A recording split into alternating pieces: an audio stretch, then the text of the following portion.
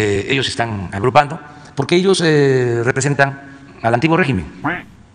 Ellos mandaron, ellos dominaron en los últimos 40 años y lo hicieron eh, asociados, simulando de que eran distintos.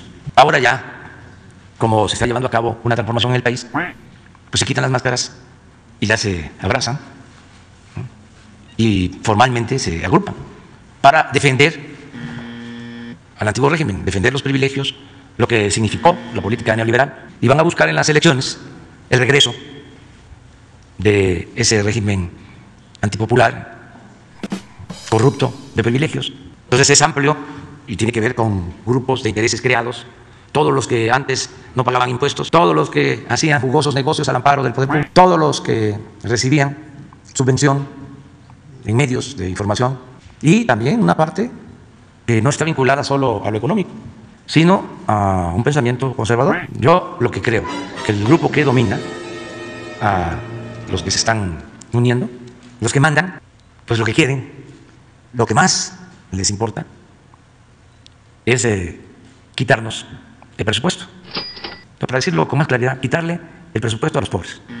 Lo que les importa, además ellos mismos lo han expresado, es que no eh, tengamos, quienes apoyan al gobierno, quienes están llevando a cabo la transformación, que no tengamos una representación mayoritaria en la Cámara de Diputados.